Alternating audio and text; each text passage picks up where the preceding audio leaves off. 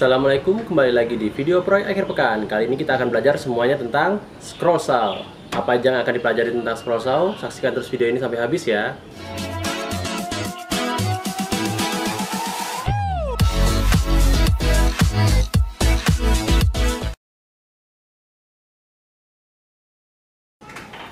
Ya, pertama-tama yang kita bahas adalah definisi dari scroll saw itu apa ya gitu. Scroll saw ini adalah suatu mesin gergaji yang menggunakan pisau yang sangat tipis yang bergerak naik dan turun untuk memotong sebuah garis lengkung atau ber, berbentuk pola. Di sini ada tiga hal yang sebagai kunci dari scroll saw ya. Pertama adalah pisaunya sangat tipis. Pisaunya sangat tipis seperti ini. Yang kedua adalah dia akan memotong naik dan turun. Dia akan naik turun seperti ini ya ini ini saya bikin kecepatan lambat dia dia naik turun. Dan terakhir adalah dia memotong sebuah untuk garis lengkung atau berbentuk pola. Jadi contohnya adalah seperti ini ini huruf R ini huruf A. Jadi dia untuk memotong seperti ini. Jadi scroll saw ini adalah merupakan alat bermesin dari fret saw atau coping saw. Jadi kalau misalnya nggak tahu fret saw atau coping saw kebetulan saya tidak ada saya letak aja gambarnya di sini ya. Jadi yang fret saw itu seperti ini coping saw itu seperti ini. Dia in scroll saw ini adalah alat yang bermesin. Jadi dia tidak manual. Kalau fret saw dan coping saw dia pakai tangan harus di seperti gergaji manual.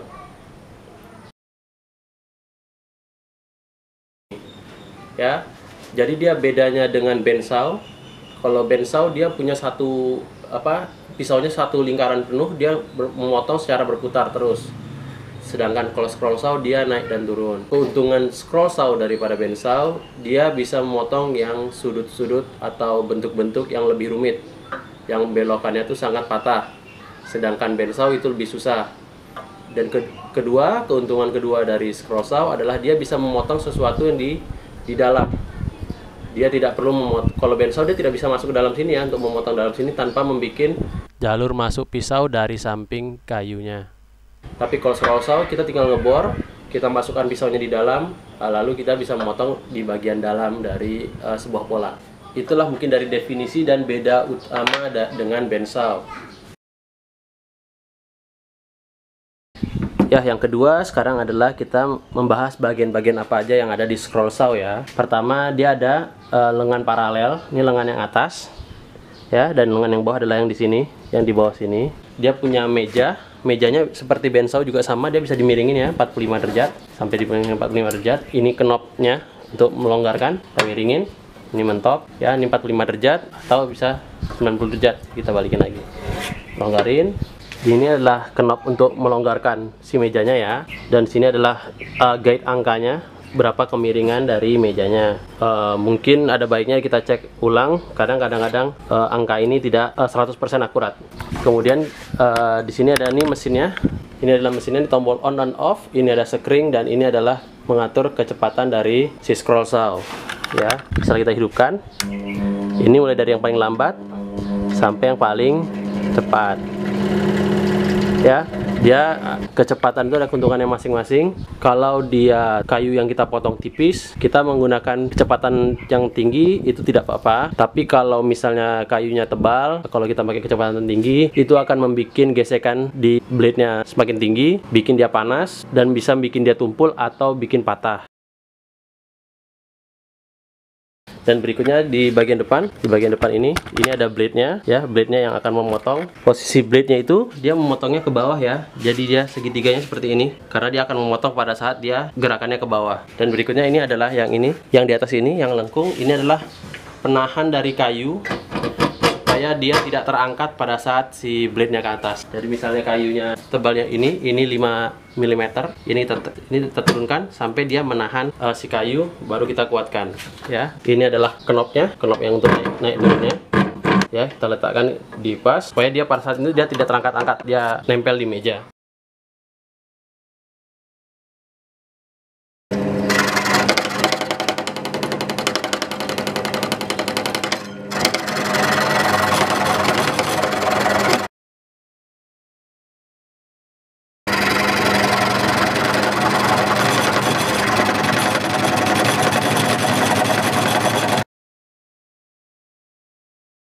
Dan yang ini adalah untuk meniup udara. Tapi selama ini saya pakai udaranya nggak pernah ketiup ya. Jadi saya nggak ngerti juga ini hanya hiasan atau ada yang salah di mesin saya. Dan yang terakhir ini. Terakhir ada ada knop di paling belakang ya. Knop di paling belakang ini adalah gunanya untuk melemah menurunkan tension dari si uh, blade. Ini berguna pada saat kita akan mengganti dari blade nya diputar searah jarum jam itu akan dia mengencangkan tegangan dari si mata pisaunya Sekarang kita akan membahas tentang pisau dari scroll saw ya. Sekarang berdasarkan cara memasang pisaunya ke scroll saw, dia terbagi atas dua. Ada pin, ada yang pin and blade seperti ini, satu ada satu jenis seperti ini, dan yang kedua adalah yang uh, pinless. Kalau yang pinless tuh dia sama sekali tidak ada pin, dia seperti ini aja ya jadi kalau yang pin itu tinggal kita sangkutkan di scroll sawnya sedangkan yang pinless itu harus dijepit. Yang berikutnya berdasarkan ukuran ya berdasarkan ukuran pin itu biasa memiliki nomor nomor 1 sampai nomor 12 ini kebetulan yang ada nomornya adalah yang uh, spiral blade. Ini saya punya ini nomor 1 3 4 6 dan 8 bisa dilihat dari nomor 1 sampai nomor 8 itu ukurannya berbeda ya. Jadi untuk mata pisau scroll saw paling kecil yang paling tipis nomor 1 dan paling tebal adalah nomor 12 biasanya nomor 12 kalau kebetulan yang saya punya adalah nomor 8 diameternya bervariasi. Makin tinggi angkanya makin besar diameternya. Sedangkan yang ini yang satu lagi dia biasanya diukur ada nomornya ada TPI atau tooth per inch atau giginya berapa jumlah giginya per inci. Ya kalau ini bisa dilihat ini dari yang paling tipis sampai yang paling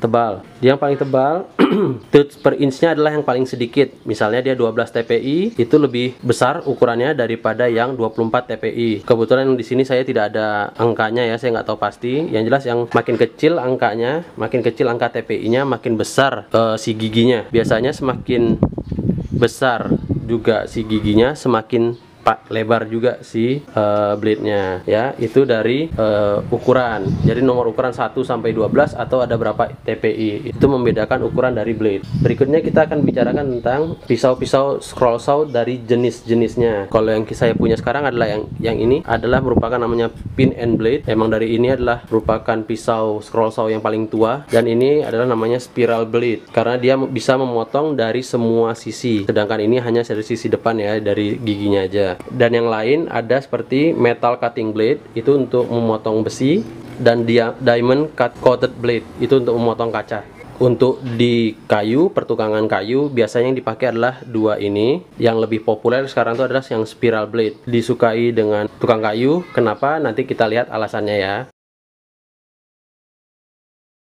Oke, sekarang kita akan membahas bagaimana cara melepas dan memasang blade. Yang pertama kita bahas adalah yang punya pin ya, dari cara melepas, memasang dan cara menggunakannya. Pertama adalah melepaskannya ya. Kalau ini kan sudah terpasang ya si blade-nya. Jadi cara pertama yang kita lakukan adalah kita mengurangi tensionnya dengan memutar yang knob tension ini ya ke arah uh, berlawanan jarum jam. Nanti dia sudah longgar, ini bisa kita tekan. Nah, dan dia langsung terlepas. Cara masukin atas dan bawah sama dia ya. Jadi ya terlepas seperti ini.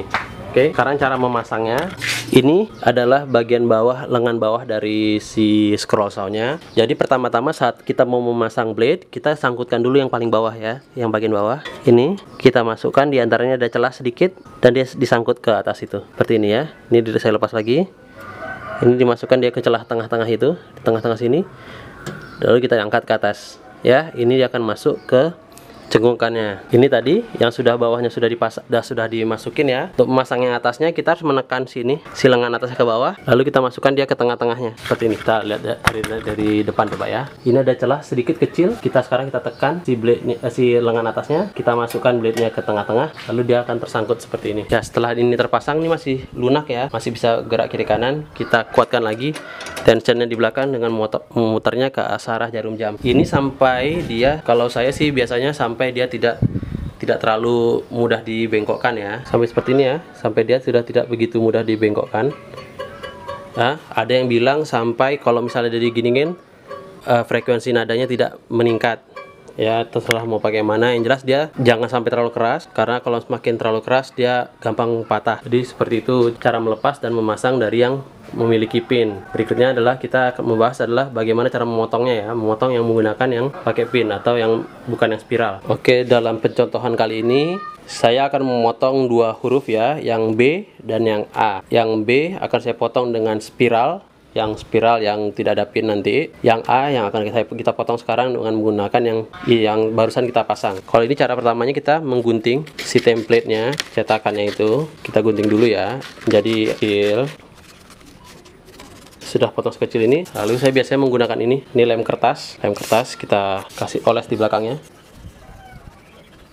Nah, setelah dioles lemnya, lalu kita tempelkan ke kayu yang akan kita pakai, yang akan mau dipotong ya.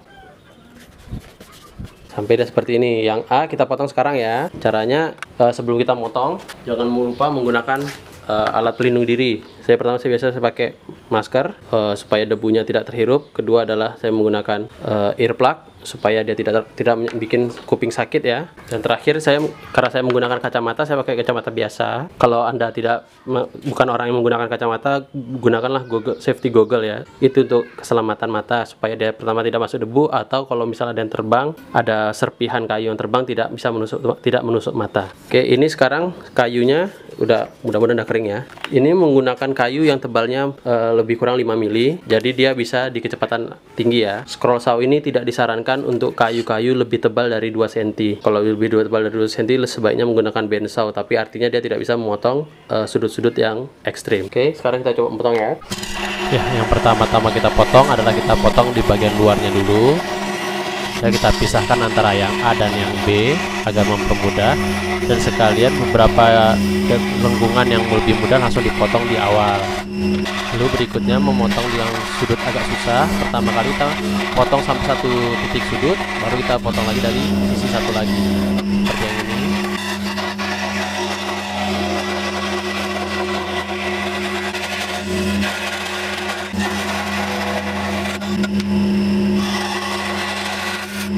untuk bagian dalam yang seperti ini ini kan susah. Jadi kita harus banyak maju mundur kita potong ke sudut-sudutnya dulu. Sudah terlepas bagian besarnya baru dirapikan di akhir. Ya seperti ini, ini baru perapi, ini merapikannya ya. Jadi seperti ini dia motong bagian luarnya sudah. Ini kan memang dia tidak halus sekali. Biasanya dia nanti dirapikan dengan amplas atau dengan kikir ya ini cara motong dasarnya seperti ini. Sekarang kita motong yang di bagian tengah. Karena ini adalah keuntungan dari scroll saw dia bisa memotong bagian tengah tanpa harus membuat entry point dari samping. Pertama kita akan ngebor dengan ukuran lebih besar dari pin tadi ya. Baru kita masukkan si blade nya di dalam baru kita potong di bagian dalamnya. Ini bisa saya menggunakan mata bor 4 mm ya kita bor lebih kurang di tengah. Nah setelah bor seperti itu kita lepas lagi blade nya ya. Kita kurangi lagi tensionnya kita longgarkan. Kita longgar kita buka. Ya setelah itu kita masukkan ini ke dalam blade nya ke dalam pin yang tadi. Ternyata kurang besar. Kemarin saya pakai ini rasanya. Kita besarkan dulu lubangnya ya. Ini saya menggunakan eh, lima setengah mm ya. Ya ada lubang seperti itu. Kita masukkan si blade-nya. Nah, sudah masuk seperti ini. Kembali seperti cara masang blade yang tadi. Kita masukkan dulu yang di bagian bawah. Di bagian bawah sudah masuk. Sudah masuk bagian bawah, kita tekan yang atasnya, sangkutin. Lalu kita tension lagi ya. Kita tegangkan lagi si blade-nya. Sekarang kita turunkan lagi ini ya penahannya baru kita motong ini kerugian dari yang pin and blade ya dalam memotong yang di bagian dalam kita harus banyak maju mundur maju mundur karena dia tidak bisa memotong uh, tidak bisa langsung belok. Jadi bagian sisinya ada yang dirapikan setelah bagian sebagian besar dari kayunya terbuang. Ya ini sudah terpotong ya. Harus kita lakukan yang tadi lagi ya kita longgarin dulu tensionnya. Ya kita longgarin tensionnya. Ya kita long dorong lengan atasnya lepas baru kita lepasin aja. Ya.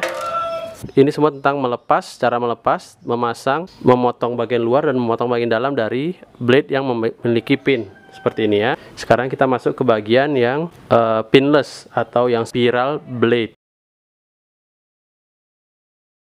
Oke, sekarang kita masuk ke bagian cara memasang, melepas, dan memotong bagian luar dan bagian dalam dengan menggunakan spiral blade. Karena yang umum dipakai untuk di dunia perkayuan adalah dua ini aja ya yang pakai pit dan yang spiral blade. Tapi untuk spiral blade ini kita membutuhkan alat tambahan. Kalau yang tadi pinless kita toolless ya. Kita nggak perlu pakai alat apa-apa bisa memasang dan melepas dan memasangnya. Untuk mesin saya dia saya membutuhkan dua kunci. Itu kunci tiga untuk membuka bagian samping membuka bagian bukan bagian samping membuka jepitan. Kalau yang nomor empat adalah untuk membuka semuanya ya ini kalau dibuka ini bisa dilepas. Ya ini untuk waktu kita masang sana. Agak rumit sedikit dalam pemasangan awal, tapi ke depannya lebih gampang. Kalau yang menggunakan pin, memasang dan melepasnya sangat gampang, tapi dalam memotong kita harus kayaknya diputar-putar seperti ini berkali-kali. Kalau yang spiral karena dia bisa memotong dari segala sisi, kita tidak perlu seperti itu. Kita tinggal gerakkan mengikuti polanya seperti ini, bagian luar, ker samping gitu. Yang atas sudah saya lepas dulu ya. Ini bagi contoh saya lepas atas dan bawah. Kalau pada nantinya sih sebetulnya hanya bagian bawah yang perlu dilepas. Itu bagian atas. Karena kita lepas yang bagian bawah. Ini yang ini yang bagian bawah ya. Karena kita lepas dulu. Sini kuncinya di sini. Guna kunci 4 yang 4 nomor 4 ya akhirnya lepas juga yang bagian bawah ya. Ya sekarang sudah lepas ini ini yang bentuk bagian bawah. Sekarang kita bisa melonggarkan yang bagian sampingnya ya. Kita longgarkan seperti ini akan terbuka si jaraknya. Setelah itu kita masukkan ujung ini ke dalam celahnya. Kita masukkan ini ke dalam celahnya ya seperti ini. Ya sudah masuk. Tinggal kita kuatkan yang di bagian sampingnya ya. Sudah masuk seperti ini. Ya lalu kita kuatkan dengan kunci L nya ya sudah kuat seperti ini. Kita masukkan lagi dia ke atas ya. Kita kuatkan pakai tangan dulu ya ke lubang yang tadi.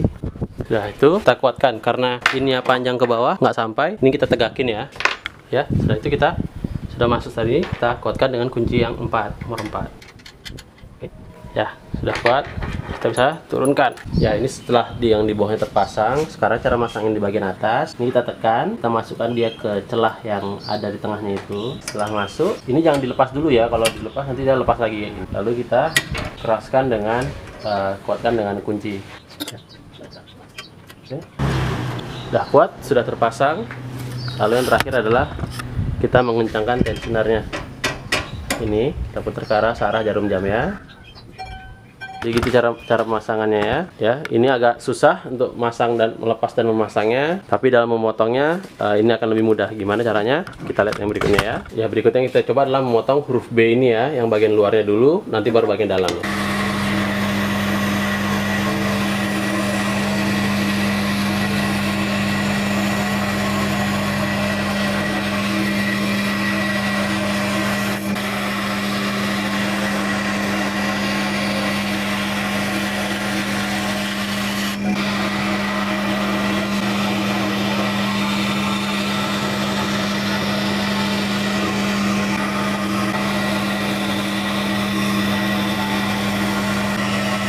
ini cara motong bagian luarnya seperti itu lebih kurang ya. Sekarang kita motong yang di bagian dalam. Untuk spiral saw ini uh, bikin lubang pertamanya kita tidak perlu besar-besar mungkin uh, sekitar 1 mili atau 2 mili cukup. Tapi karena saya tidak punya mata bor yang 1 mili jadi saya contohkan dengan ini ya. Ini paku seperti finishing nail yang biasa saya pakai pakunya kecil. Jadi kita bisa hanya membuat lubang sekecil, sekecil ini.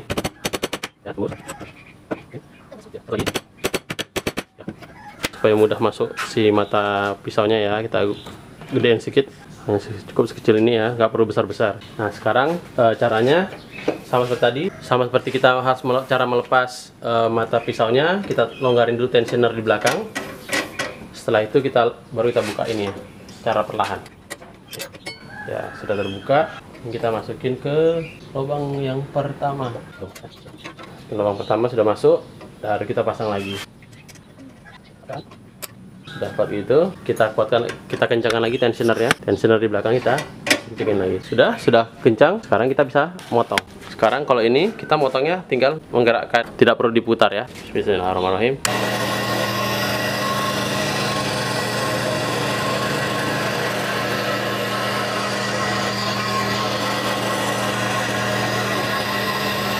Selesai yang pertama. Lalu kita ikuti proses berikut yang tadi. Kita longgarin dulu tensionnya ini ada terbuka satu kita masukkan yang berikutnya. Kita pasang lagi seperti tadi. Sudah kuat? Sudah ini sudah kuat. Terakhir kita tarik tensionnya ya. Sudah di tension kembali sekarang kita tinggal potong.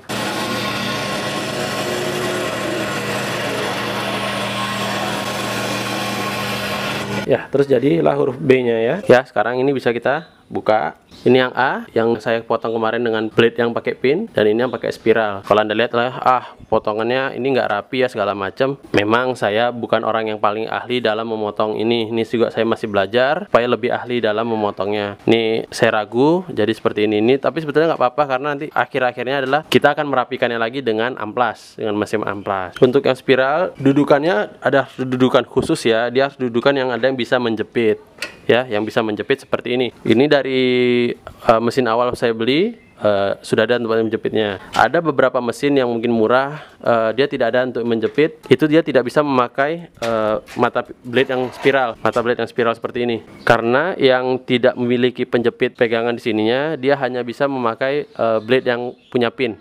Ya, kalau yang ini saya kebetulan ada. Tapi banyak orang yang mengakalinya dan membuat uh, jepitan sendiri. Nah, itu bisa DIY sendiri. Mungkin ada di video YouTube yang lain bagaimana cara membuatnya. Ya ini dari mesin saya ada ditempel ya. Ini apa saja yang harus diperhatikan sebelum menggunakannya? Pertama baca manualnya dulu. Bagaimana cara menggunakan uh, scroll saw-nya. Kedua menggunakan uh, safety goggles. Ketiga uh, pastikan Anda memasang blade-nya dengan giginya mengarah ke bawah. Keempat uh, pastikan uh, jari Anda jauh dari blade yang bergerak. Kelima, jangan pernah membuang bagian yang bagian yang nyangkut sebelum pisaunya berhenti dengan sempurna. Keenam, pastikan blade tensionnya, tegangan dari pisaunya di maintain secara benar. Tujuh, pegang workpiece yang akan dipotong dengan bagus ke arah meja. Dan terakhir, matikan mesin sebelum mengatur ulang atau menservis bagian dari pisaunya. Ini ini bagian yang tertulis dari uh, mesinnya. Ya, gimana? Tidak susah ya untuk mempelajari tentang scroll saw ini jujur saya bukan orang yang paling ahli menggunakannya, bukan orang yang paling tahu tentang semua tentang scroll saw. Uh, saksikan juga video-video tentang scroll saw yang lain untuk mempelajarinya lebih dalam. Uh, ini hanya untuk sebagai pemula karena pertama kali saya belajar untuk menggunakannya, saya bingung sih tidak ada referensi untuk mempelajari awalnya. Ya, saya membaca berbagai macam uh, literatur, melihat video-video cara mengganti blade-nya dan segala macam. Jadi saya berinisiatif untuk mengumpulkan semuanya dan menjadikan dalam satu video. Dalam video ini kita sudah membahas adalah uh, pertama definisinya, apa itu scroll saw, kedua bagian-bagian dari scroll saw, ketiga jenis-jenis dari mata pisaunya, keempat cara memasang dan melepaskan dari mata pisau, dan kelima cara memotong bagian dalam ataupun bagian luar dari workpiece yang mau dipotong. Ya, semoga uh, video ini ada manfaatnya. Kalau saya salah atau ada kekurangan, tolong di komen di bawah ya. Kalau Anda suka video ini, boleh di like dan di share, dan jangan lupa di subscribe untuk video-video berikutnya. Terima kasih.